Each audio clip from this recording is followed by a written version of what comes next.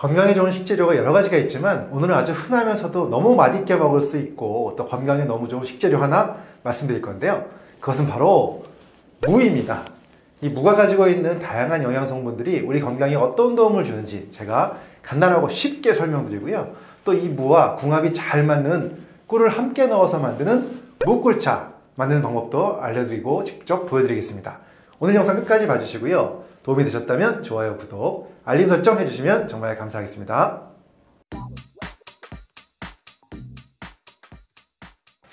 고마우신 독자님들 오늘도 클릭해 주셔서 정말 감사합니다.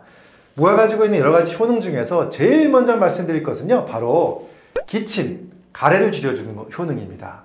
이러한 효능은 무에 들어있는 시니그린이라는 성분 덕분인데요. 시니그린은 무에 톡 쏘는 맛을 내는 성분이기도 합니다.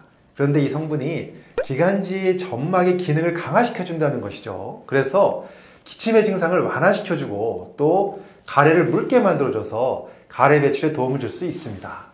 또 무에는 비타민 C도 풍부한데요. 자, 그러면 질문 하나 드리겠습니다. 비타민 C가 무에 어느 부분에 많이 들어있을까요? 바로 무의 껍질에 비타민 C가 풍부합니다. 그래서 무꿀차를 만들 때도 껍질을 함께 사용하시면 더 좋습니다.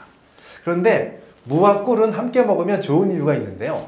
2020년 영국 옥스퍼드 대학 연구팀이 약 1,700명을 대상으로 감기 환자의 증상에 꿀이 도움이 되는지 연구를 진행했습니다.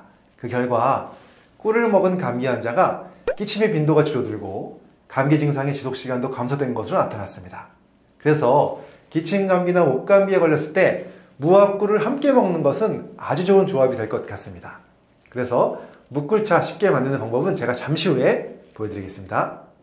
이제 무의 두 번째 효능을 말씀드릴 건데요. 그것은 바로 소화 기능을 돕는 것이죠. 그래서 무를 예로부터 천연 소화제라고도 했습니다. 바로 무에 풍부하게 들어있는 디아스타제 덕분인데요.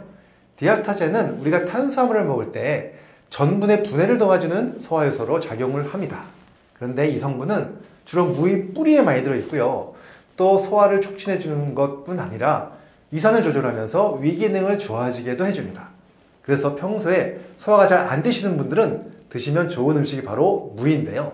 그런데 무의 소화에 대한 효능을 제대로 보시려면 한 가지 주의하실 점이 있습니다. 바로 물을 열을 가하지 말고 먹어야 하는데요. 물을 끓이거나 데치게 되면 이 디아스타제와 같은 효소들이 파괴될 수 있기 때문이죠. 그래서 제가 오늘 소개해드릴 무꿀차로 드셔도 좋고요. 그 밖에 무의 열을 가하지 않는 방법으로 드시는 것이 더 좋습니다. 자, 이제 세 번째 무의 효능은 바로 암세포를 잡는 항암 효능인데요. 무에 들어있는 이소시오시아나이트라는 성분이 염증을 줄여주는 항염 작용을 하고요. 또 glucosinolate 성분이 바로 발암 물질을 억제하는 작용을 합니다. 앞서 말씀드린 시니그린, 즉 기관지 점막을 보호하는 성분도 glucosinolate 성분의 일종입니다. 이러한 성분들이 무의 매운맛을 내기도 하고요. 또 이러한 성분들 덕분에 항암 작용을 한다는 것인데요. 여러 연구들에 따르면 무와 같은 십자화과 채소를 충분히 섭취하면 뭐 유방암, 신장암, 폐암, 위암, 난소암 등의 발생 위험을 낮추는 것으로 알려졌는데요.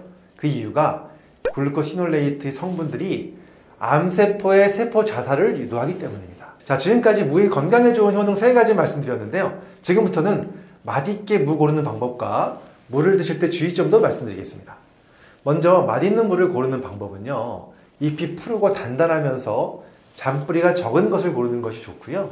또 무의 뿌리 쪽이 통통하고 철석 부분이 넓을수록 맛이 좋다고 합니다. 그리고 살짝 눌러보았을 때 단단한 것이 좋고요. 표면이 매끄러운 것이 좋은 무라고 합니다. 그리고 물을 드실 때 주의점도 있는데요. 매운 성분들이 있어서 급성 위염이나 위궤양이 있는 경우에 증상이 악화될 수 있다는 점도 알고 계셔야 하고요. 또 다량의 식이섬유가 들어있어서 한꺼번에 많이 드시면 가스가 차거나 복부 팽만감이 생길 수도 있다는 점 주의하셔야 합니다. 또 감기 걸렸을 때 무꿀차를 먹으면 도움이 됩니다만 이것이 치료약을 대신할 수는 없죠. 그래서 증상이 지속되거나 악화되면 꼭 병원에서 진료를 받아보셔야 한다는 것도 알고 계시면 좋겠습니다. 자, 그럼 이제부터 무꿀차 간단히 만드는 방법 알려드릴 건데요. 원래 무꿀차를 만들기 위해서는 물을 채를 썰어서 꿀에 재워서 냉장고에서 며칠 숙성시키는 방법이 있습니다만 오늘 저는 숙성시키는 과정 없이 초간단 무꿀차를 만들어 볼 겁니다. 일단 좋은 물을 잘 고르셔서요. 깨끗하게 세척을 하고요. 껍질을 벗기지 말고 그대로 강판에 갈아줍니다. 자, 이렇게 갈아주면 무즙이 나오죠. 이 무즙을 컵에 약 3분의 1까지 넣습니다. 그리고 따뜻한 물을 부어주고요. 여기에 꿀을 한두 스푼 정도 넣어서 잘 저어주시면 완성됩니다. 아주 간단하게 만든 묵꿀차 마셔보겠습니다.